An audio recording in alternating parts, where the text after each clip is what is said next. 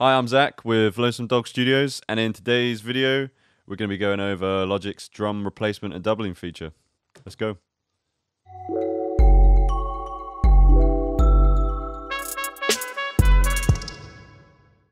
So before we start, drum replacing isn't going to turn your terribly recorded drums into a masterpiece. It's a tool to clean up, uh, fatten, experiment with with your existing drums to improve on them. First, I'm going to show you the drum track in question that we're going to be replacing and doubling. In today's video, we're going to replace the kick drum entirely and replace that with a MIDI kick. And with the snare, we're going to double the snare. So we've got an example of both. So I'm going to play the track so you can hear what it sounds like.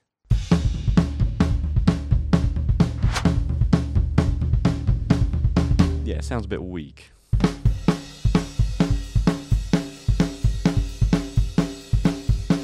Cool. Obviously, these are unmixed. These are raw, recorded straight from my recording session. They will not sound as great, but I'll show you a finished mix at the end of today's video.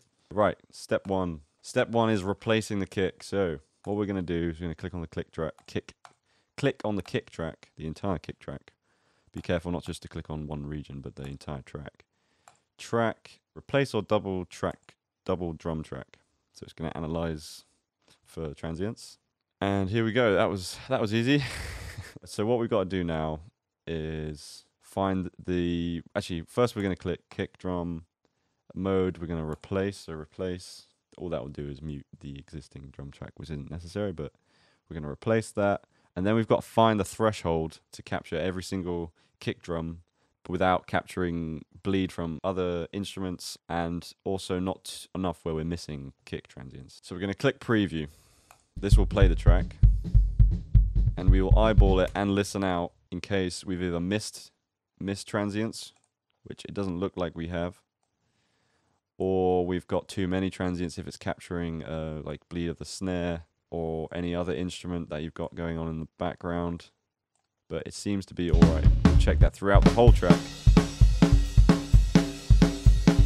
If there are any extra hits in, it's better to capture too much than too little. Then you could just go and delete ones rather than trying to exactly fill in manually missing hits. That would be a nightmare. So we've got, we're going to click, ignore the rest of this, click OK. We should have this MIDI track now. It might sound a bit uh, weedy because it's just the default um, kick sample and it's probably at a very low velocity, which it is. It's only at 11. And what we will do first is probably turn up these velocities to quite depends on where your track is. This is a like a heavy rock track, so you're going to have a pretty aggressive kick throughout the whole song. That's already much better.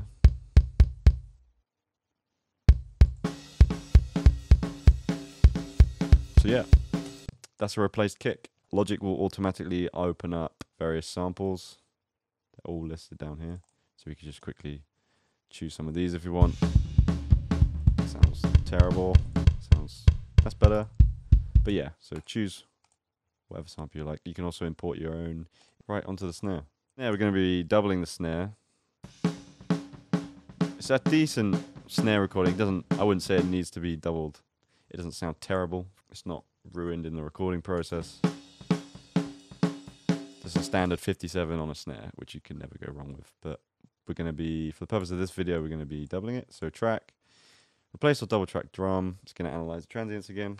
Then we're going to click double, snare. It should, once again, it should threshold. It kind of auto sets it to what Logic kind of thinks it should be, which most of the time is pretty bang on, but obviously double check. So we're going to click OK.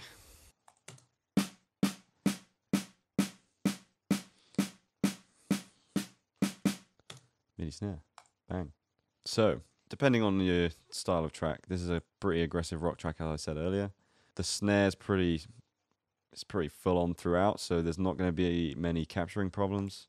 Sometimes with more dynamic songs, where there's quiet sections and loud sections and fast sections, especially with a snare as well, because you'll have ghost notes, for example, that sometimes won't, won't think they're snare hits, it'll think they're like bleed of the kick, so it won't capture it. So you might end up having to do things manually sometimes, but it's quite easy. The snare is often much more dynamic than a kick, I find. So you'll see this is based on what is analyzed as well. So some snare hits are really loud and some of them are very quiet. So what we can do for now is we can velocity limit or fix velocity, depending on what you're going for. We'll just use a velocity limiter for now. Limit that to 90 and then turn everything up again. Also, if Logic hasn't opened um, the list of uh, samples on the left, you can do it. Click on the sampler, use this drop down, factory, drum and percussion, drum, single drums, and then we can click snares, acoustic snares, and there, there they are there. So we can go through a list of these one at a time. It's important when, when choosing a sample, it's important to listen to not just do something that's completely different to the existing snare. You want you want something that sounds realistic. Unless you're going for unrealistic, which you can use a range of sounds. But I'd, for this track, I'd compare what the snare listens to in the overheads.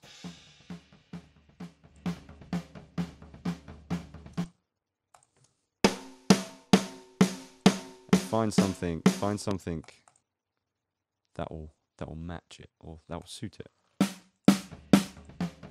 That's actually not far off. That sounds pretty similar to the existing snare, so we're going to go with that.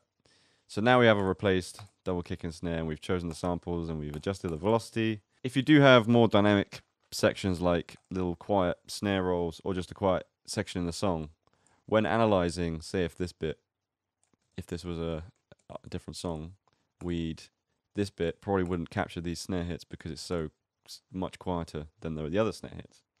So what we would do is we drum replace this region. We'd only click, we'd only click this region, and then after that replace this quiet section separately. So yeah, so quick fix for that. With these replaced kick and snare MIDI regions, we can either leave them as just using a sampler to adjust whatever you want. Also, the sampler has a very handy envelope filter ADS with ADSR controls. So, for example, we can get a really tight kick sound. Our kick kick drum sounded okay, but it was just missing that transient punch, we could just just having the punch in, or we can just go back to the full kick. But we're replacing the kick, so we'll stick with that. But anyway, what we can do with these two regions is we can use the glue tool, I think, I believe. There we go. And so now we have a kick and snare on one MIDI track. So with these two regions, we can use uh, MIDI's drum kit designer. So we drag it out of this track stack I've put it in, click unmixed or or pre-mixed ones if you like. And see now the advantage of using this is that we've got emulated overheads, a kick in, a kick out, top snare and a bottom snare. And also the samples you hear here are from this drum kit. So this is Logic's drum kit designer, which has a lot more realistic um, samples. So these these samples have a degree of randomness, so it's not going to be the exact same sound every time you play it, which is slightly more realistic. So we can choose from any of these. I think you can download additional. But yeah, very useful. And we also have room mics, emulated room sounds, which I think sound great. I always, I, I love room A. but yeah, it just gives you more control, more options. So, what I'm going to do is I'm going to skip ahead to a mixed version of this track with a replaced kick and a doubled snare. So here is the mixed. Oh, it's not even mixed because I don't have the plugins. So here's a nearly mixed version of the drums with a replaced kick and a doubled snare, as you see. I'm obviously missing some plugins because I have not installed them plugins, but it will sound relatively okay, I believe.